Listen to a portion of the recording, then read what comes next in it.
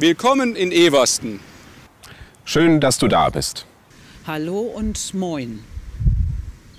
Wir wollen euch mit diesem Film ein bisschen erzählen, wie die Konfirmandenzeit in Eversten funktioniert. Und wir würden uns freuen, wenn ihr beim nächsten Durchgang dabei seid. Was passiert eigentlich in der Konfirmandenzeit? Wie sieht das aus? Wann fängt die Konfirmandenzeit an und wer kann sich dazu anmelden? Die Konfirmandenzeit beginnt für Eversten und Bloerfelde im Jahr 2021. Wenn du dann so etwa zwölf Jahre alt bist und in die siebte Klasse gehst, dann kannst du dich jetzt anmelden. Und natürlich auch, wenn du richtig Lust auf Konfirmandenzeit hast. Und die Konfirmandenzeit endet dann natürlich mit eurer Konfirmation im Jahr 2022. Die findet dann so im April oder Mai statt jeweils in der Kirche, in der ihr die Konfirmandenzeit erlebt habt. Die Konfirmandennachmittage selber finden dann jeweils in dem Gemeindezentrum statt, für das du dich angemeldet hast. Hier im Nikolai-Gemeindezentrum finden die Konfi-Stunden dann immer am Donnerstagnachmittag statt. Um welche Uhrzeit dann genau, das machen wir gemeinsam dann aus mit allen, die dabei sind. In Bloerfelde treffen wir uns am Dienstag ungefähr 90 Minuten alle zwei Wochen. Und an St. Ansgar treffen wir uns donnerstags, alle 14 Tage für 90 Minuten. Wann genau wir uns treffen und welche Uhrzeit, das verabreden wir gemeinsam zu Beginn. Du kannst dir übrigens den Ort aussuchen, wo du hingehen möchtest, ob nach Nikolai, Bloerfelde oder hier zu St. Ansgar. Was wir an den Nachmittagen machen, ist an allen drei Orten ungefähr gleich. Wir erzählen euch was über die Kirche. Wir laden euch ein, Glaube und Kirche kennenzulernen. Wir zeigen euch, wofür unser Herz schlägt.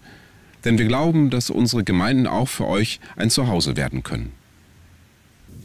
Und dann treffen wir uns immer mal wieder zu besonderen Tagen. Hier in Eversten zum Beispiel zu einer Fahrradrallye, um den Stadtteil zu entdecken. Oder in der Stadt zu besonderen Konfitagen.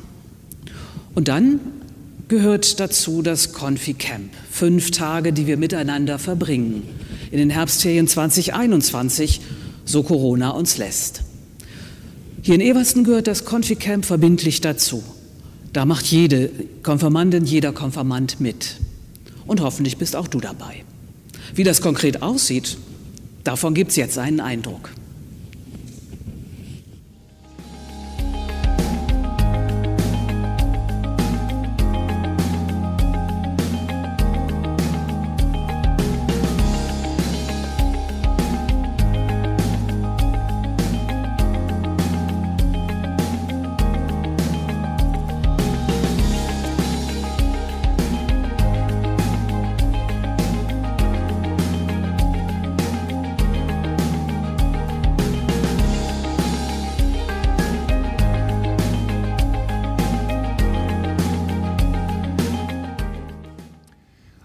Wie ihr gemerkt habt, so ungefähr sieht unser großes Konfi-Camp aus. Da sind so viele Leute, das schaffen natürlich die drei Pastoren nicht alleine. Deshalb bin ich da, Martin Klimaschewski, bin Kreisjugenddiakon. Und ich bin nicht alleine, da sind ganz viele Gruppenleitende, die sind auch dabei.